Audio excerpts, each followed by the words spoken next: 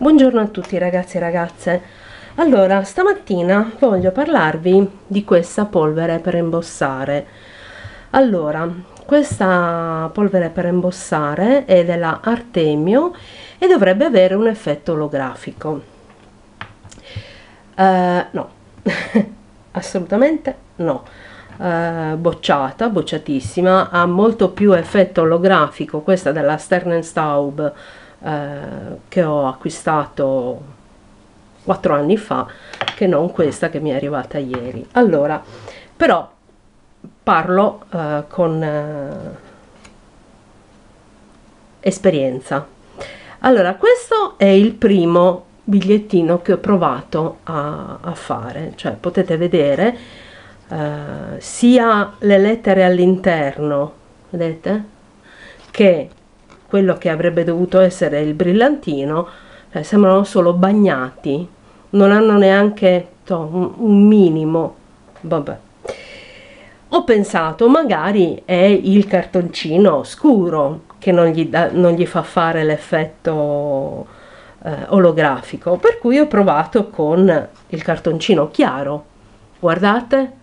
Cioè Oltretutto non ha neanche sbiadito il, il colore della, diciamo, della colla, chiamiamolo, um, come si chiama? Sì, è un pennarello per imbossare comunque, vedete? E niente, mm, ripeto, molto molto molto molto delusa eh, ho provato un'ultima gli ho dato un'ultima chance per vedere se magari era il cartoncino che assorbiva troppo. Ho riprovato oh aspettate che se non mi cade il galarin. E ho provato sulla carta. Sulla carta ah, sì diciamo vedete le code della farfalla?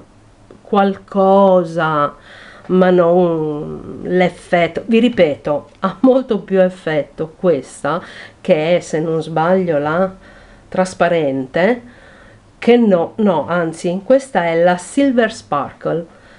Eh, ha molto più questo di olografico che questa che comunque voglio dire per cui niente bocciata ehm, bocciata veramente alla grande anche perché voglio dire non costa neanche tanto costa 5 euro.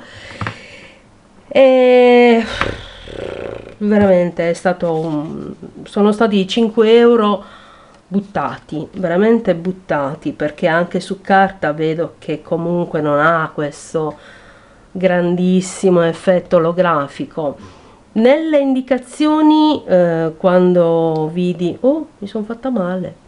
Bua io tanta bua.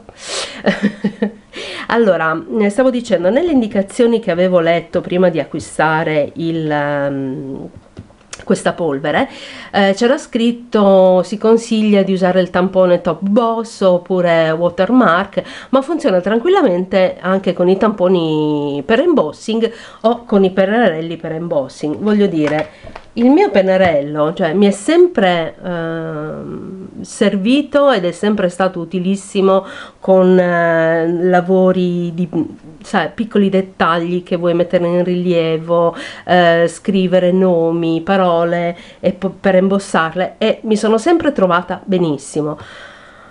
Spiegatemi perché con questo no perché molto probabilmente è, è una sola è veramente una sola.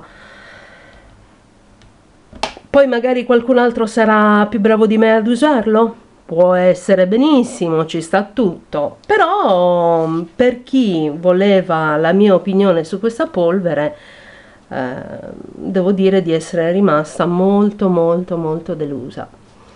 Bene questa è la recensione della Artemio Holographic Poudre à Embossé vi, vi mando un saluto e al prossimo video. Ciao